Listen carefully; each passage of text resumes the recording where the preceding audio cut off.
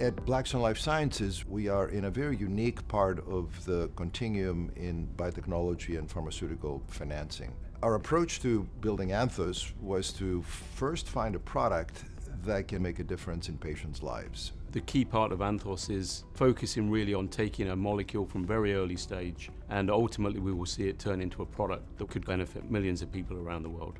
The most exciting project we're working on is the ability to protect people from a stroke or a heart attack caused by a blood clot without increasing their bleeding.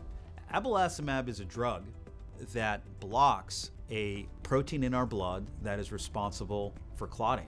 And as a result, could be used as a treatment to prevent abnormal clotting like the kind that might afflict people with strokes or heart attacks.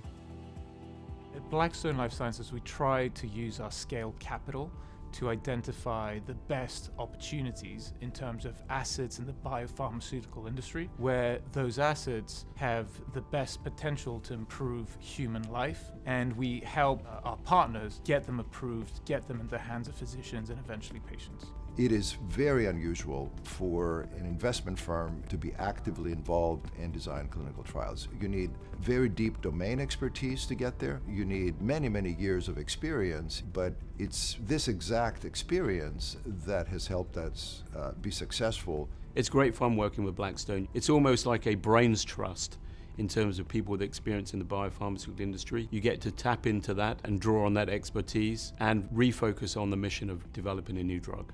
The future of biotech to me is continual innovation in academic research and small companies. This is how you improve health outcomes.